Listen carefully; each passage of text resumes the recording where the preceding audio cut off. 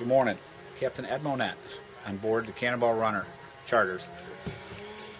The last couple days, the fishing's been extremely easy.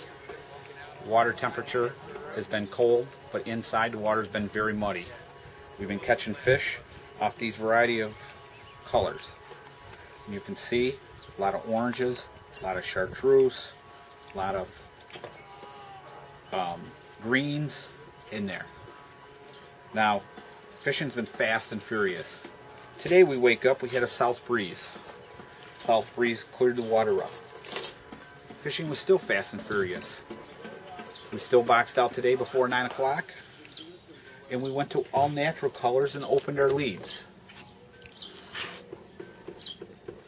As you can see, Michigan Stinger is our spoon of choice.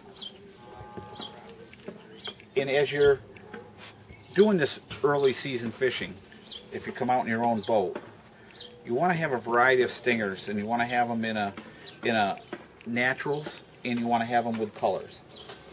And whatever's happening one day doesn't mean the fish aren't biting the next day. You just got to adjust to the conditions that are there. We fished the exact same water that we fished the day before.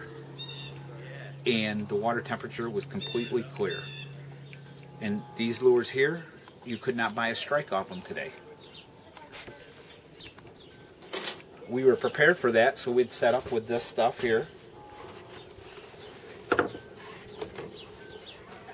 And like I said, again, we were done before 9 a.m. So staying on top of your water conditions, especially in the spring season, is going to be your number one key. Look for a little bit warmer water, stay on top of the conditions, whether it's dirty or clear, and you should have success.